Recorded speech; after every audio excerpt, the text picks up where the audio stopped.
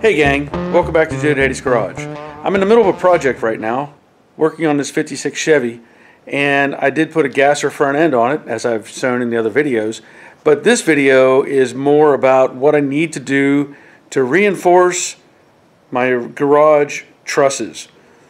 Now, you're not really supposed to be lifting from a truss.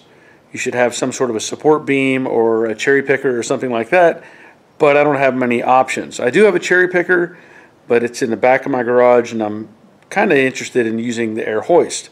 So what I'm concerned with is that engine weighs 750 pounds. That's what I've been told anyway, a big block Chevy.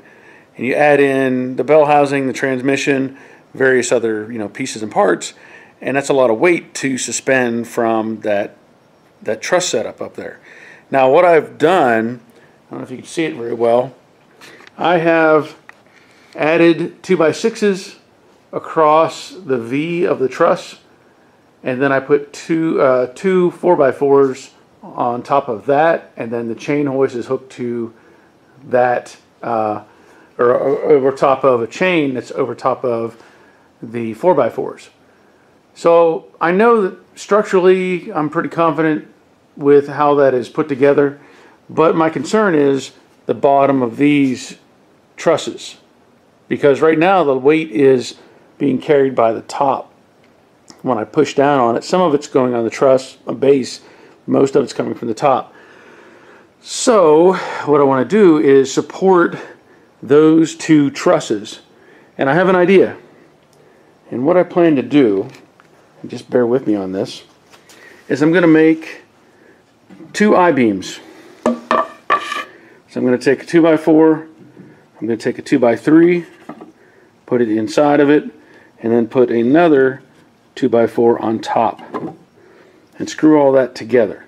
So I end up with basically an I-beam.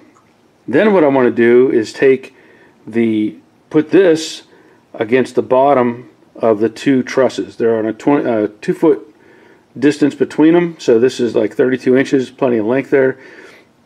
So I'll have the trusses underneath that. Then, what I plan to do is I'm just going to use this plate just as a load-bearing surface. I'm going to attach this to the underside of the I-beam. So if you picture that the other way around. And then I'm going to use a piece of pipe to go against this base. Now I may even add something else to this, I don't know, but really the, it's not going to compress because it's the wood that is supporting the load. Then, what I want to do is I bought these. Those will go on the floor. Now the concern here is this may want to spread apart.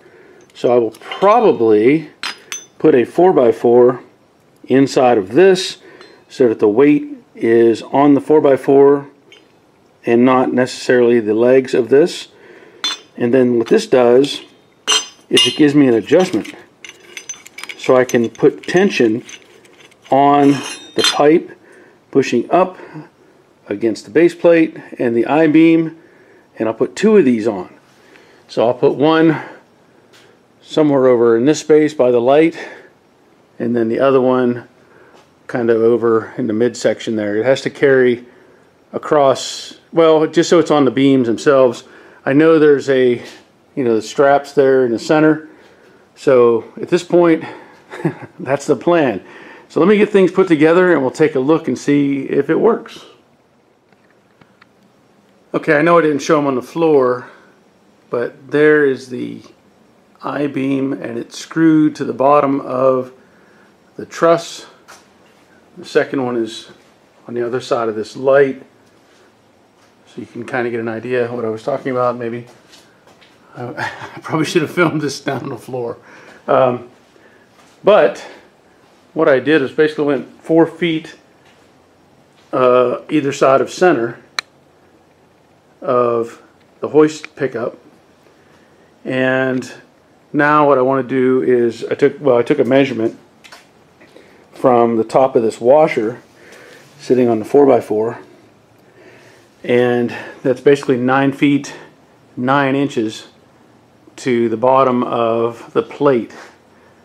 So now I need to cut two lengths of pipe and then weld them to the washers so that uh, I'll have my supports. And originally my idea was to use wood and actually have a hinge on that plate or that I-beam and then pivot it up out of the way. But with the lights and everything, I don't know that I could get away with it, so I decided to go with the pipe. Then I can take it down and just get the pipe out of the way and be done with it. So let me show you what I'm going to use for pipe. So what I have is basically pipe that was used on top of a chain link fence. It was scrapped and I was at the scrap metal place one day and I said, hey, I could probably use that. And he said, well, just take some. So I, I have three pieces. So I'll take uh, the saw and cut off the length that I need. I might be able to get it all out of one, one length. I think these are over 20 feet long, or the two long ones are. And so that's what I'm going to use.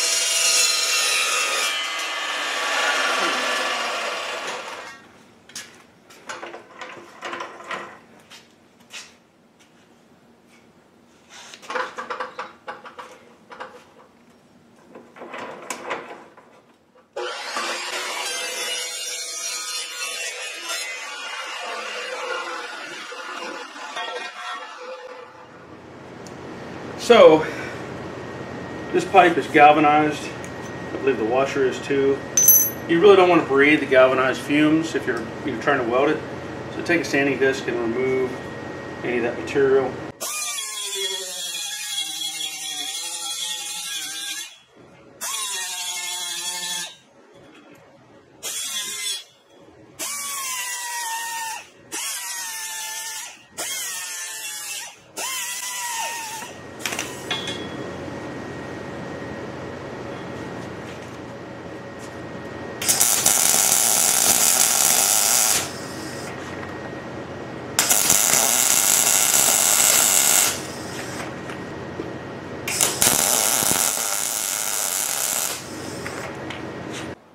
So I decided to step this up a little bit.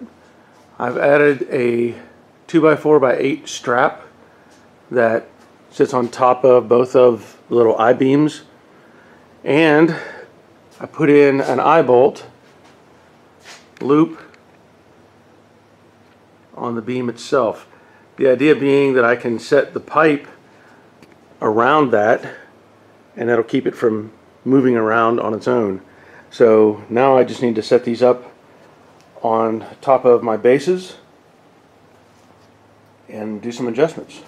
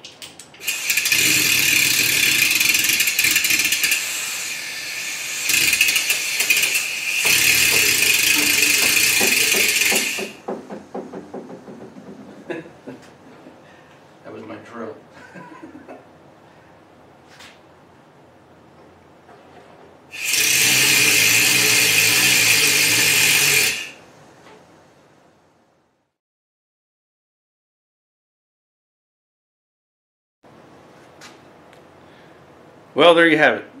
You know, I've lifted with this hoist many times before without any real additional support.